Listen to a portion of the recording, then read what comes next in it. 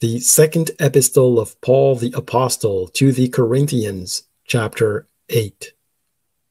Moreover, brethren, we do you to wit of the grace of God bestowed on the churches of Macedonia, how that in a great trial of affliction, the abundance of their joy and their deep poverty abounded unto the riches of their liberality. For to their power I bear record, yea, and beyond their power they were willing of themselves, praying us with much entreaty that we should receive the gift, and take upon us the fellowship of the ministering to the saints. And this they did, not as we hoped, but first gave their own selves to the Lord, and unto us by the will of God. Insomuch that we desired Titus, that as he had begun, so he would also finish in you the same grace also. Therefore, as ye abound in everything, in faith and utterance and knowledge, and in all diligence, and in your love to us, see that ye abound in this grace also. I speak not by commandment, but by occasion of the frowardness of others, and to prove the sincerity of your love. For ye know the grace of our Lord Jesus Christ, that though he was rich, yet for your sakes he became poor, that ye through his poverty might be rich. And herein I give my advice. For this is expedient for you, who have begun before, not only to do, but also to be forward a year ago.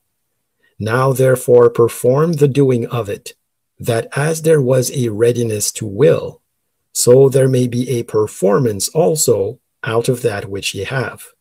For if there be first a willing mind, it is accepted according to that a man hath, and not according to that he hath not.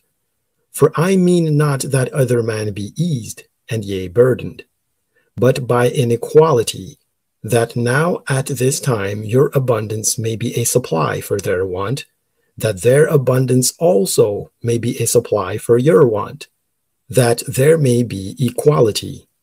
As it is written, He that hath gathered much had nothing over, and he that had gathered little had no lack. But thanks be to God, which put the same earnest care into the heart of Titus for you. For indeed he accepted the exhortation, but being more forward, of his own accord he went unto you.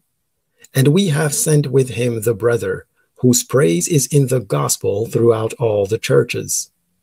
And not that only, but who was also chosen of the churches to travel with us with this grace, which is administered by us to the glory of the same Lord and declaration of your ready mind.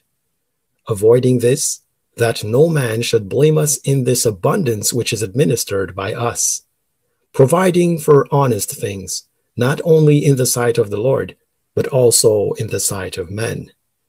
And we have sent with them our brother, whom we have oftentimes proved diligent in many things, but now much more diligent upon the great confidence which I have in you.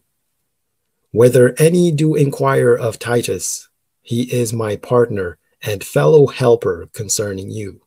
Or our brethren be inquired of, they are the messengers of the churches and the glory of Christ.